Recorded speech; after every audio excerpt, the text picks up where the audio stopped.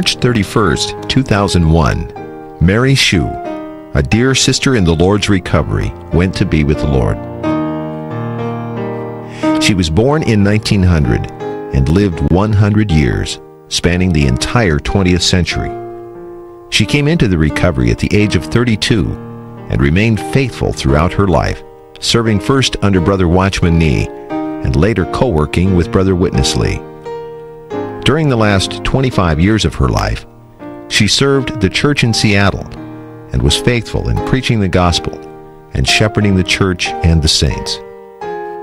Her long life is not only a chronicle of the history of the 20th century, but a living testimony to the move of the Lord in his recovery. She ministered to thousands of saints and perfected many to the Lord's service.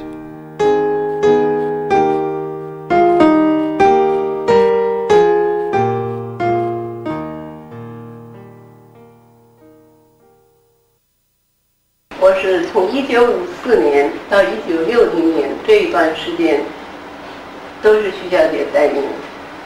她对我是和蔼可亲，是常常为我祷告，也带着我祷告。她是一个非常爱主的姊妹，她这一个爱主。对我有一个很深的影响，因为他是简单的爱主，是单纯的爱主。趁这个机会，也谢谢徐小姐，几十年、四五十年爱我，扶持我，为我祷告。我相信她的祷告是一直跟随我，一直扶持了我，直到今天。所以我借着这个机会，谢谢徐小姐四五十年的时间，爱我，扶持我，一直为我祷告，愿主记念。阿门。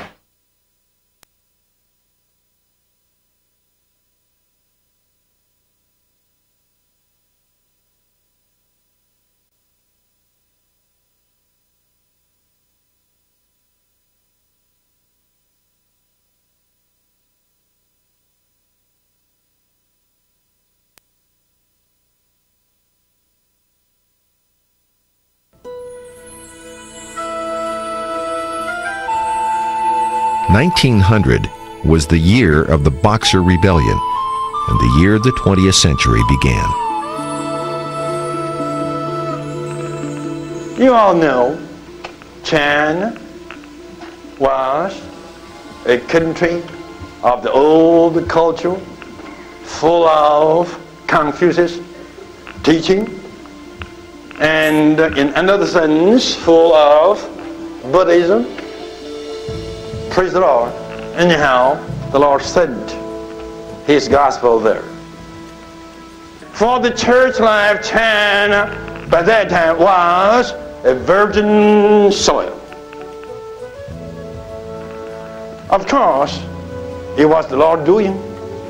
You can never imagine in that heathen country, full of Confucius teaching and full of the Buddhism worship, the Lord could, or the Lord would, raise up something.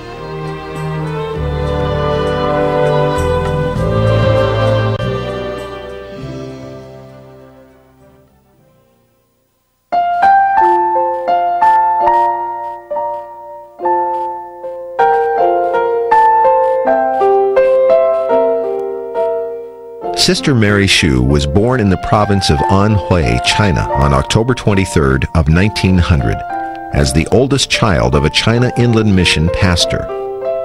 The second daughter of the family, Shu Fengxian, eventually married Ni Hui Tzu, the second of Watchman Nee's younger brothers.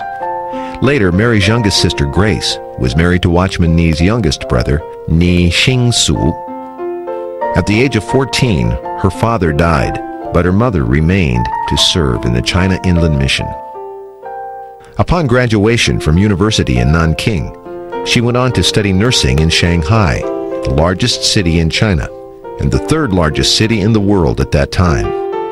At the completion of nursing education, she worked in the renowned Shanghai Municipal Council Hospital, a British hospital that received only foreigners at that time. She was soon promoted to be the head nurse, and in 1930, at the young age of 30, was appointed the assistant director of the hospital. Shanghai at the beginning of the 20th century was a very cosmopolitan city. Along the Bund, a business strip by the Yangtze River, were tall bank buildings. Mary's Hospital was in the heart of this district. Further inland, the English, French, and Japanese concessions and other Chinese-controlled districts were teeming with activity. It was here that the Lord's recovery had a fresh beginning in 1927.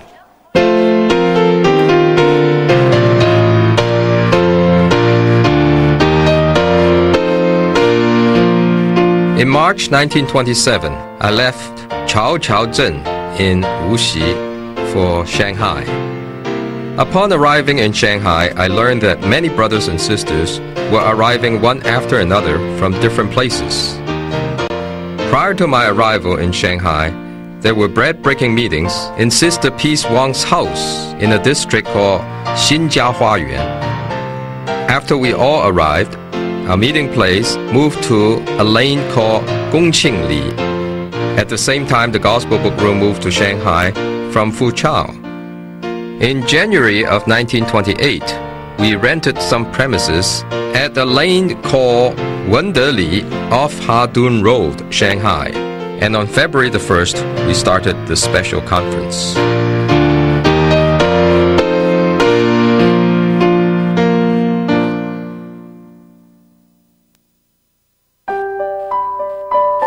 Hardoon Road was situated at the heart of the city in the English concession. It was near the Hardoon Park in a district developed by the Jewish businessman Silas Hardoon. During the 1930s, this was a thriving and pulsating neighborhood.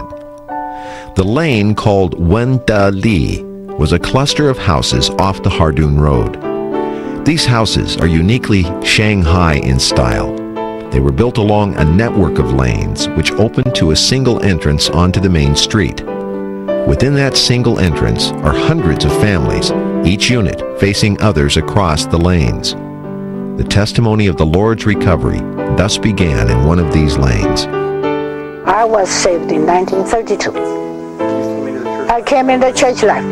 Yeah. By the way, yes, by the, you know, first in the uh, Ruth Lee's Bible class. And then, that's right, I got saved spontaneously. I came into the church. And then, when I came that time, I think a lot of people. I attended, well, Roman conference. After that, uh, Witness Lee, about 1933, Witness Lee came. Of course, he know each other by correspondence. When he came, he was already to be the co-workers in Shanghai. It's really from the Lord. Went up the north, that Witness Lee. Went down to the south, that Watchman Lee. So this is from the Lord. And then finally they came together. They, both of them, I just, I can testify because I'm the one that followed these two brothers all the way through. Brother Watchman Lee and Brother Witness Lee. I'm not a glorified person. I'm glorified Lord Jesus. How the Lord did the work for 55 years like that.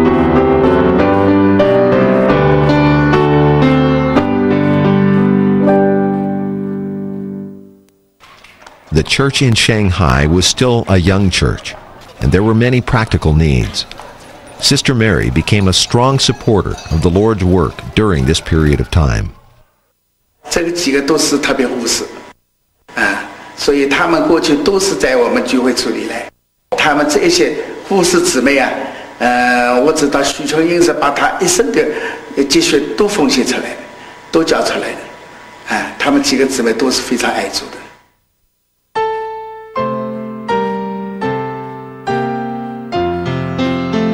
In her own testimony, Mary told of how she dealt with the Lord in the matter of material offering. After I got saved, Ruth Lee, eh, he said, you confess your sins. Not to say, oh Lord, I'm a sinner, please forgive me. No, you have to count your sin as inventory. This helps us to hate sin for our future life. That's what he told me. So I knelt down, I locked my door. I said, Lord, any more, any more, any more. And then I can say, Lord, at present I think no more. But if there's some more, please let me know. The Lord did.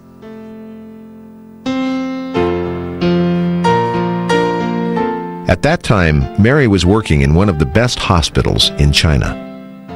Our hospital, eh? My, I didn't know my hospital is the top, the number one. Fifty dollars, silver money, silver, you know, pure silver. Have board, have food, have a nice, nice room, have boys to serve us. You don't have to make your bed. You don't have to do everything. Do nothing.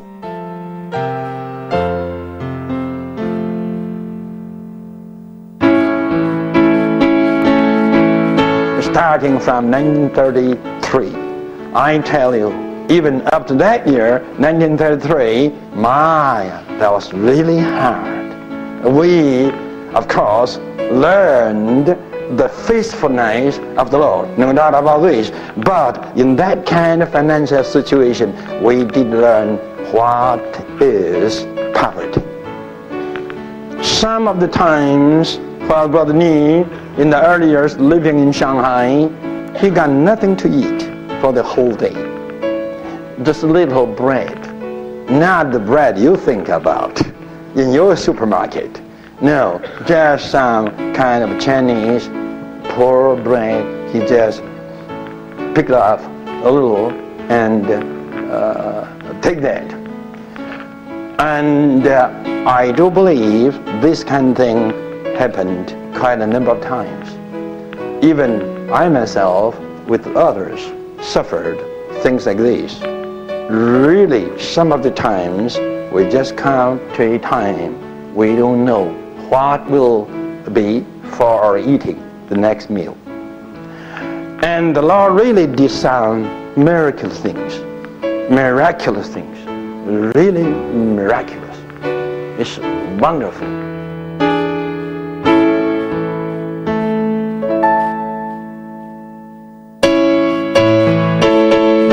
When I was working in the hospital, I said, Lord, I give this to you, Lord. I know, just the minute you commit, you were washed away. Lord said, Elijah, that famine, go to the uh, widow. The widow only a grass of flour, a little oil. I said, Lord, you wait for me. I will obey, but I will someday I will obey. I pray, pray. And then the Lord made, you know, one woman with uh, alabaster, first time came, stand up, and then bow down, cried, and again bow down to wipe the feet. The Lord showed me this. Lord Jesus, I'm this one. I'm so proud to stand here. Lord Jesus, finally. And finally I give myself pour myself to. Lord, I want to be this kind of a woman. Every time if I empty myself, the God is so near. I can touch the God. I can touch the Lord. And you all the time really happy, just like soaring. And love Him. And love the Word.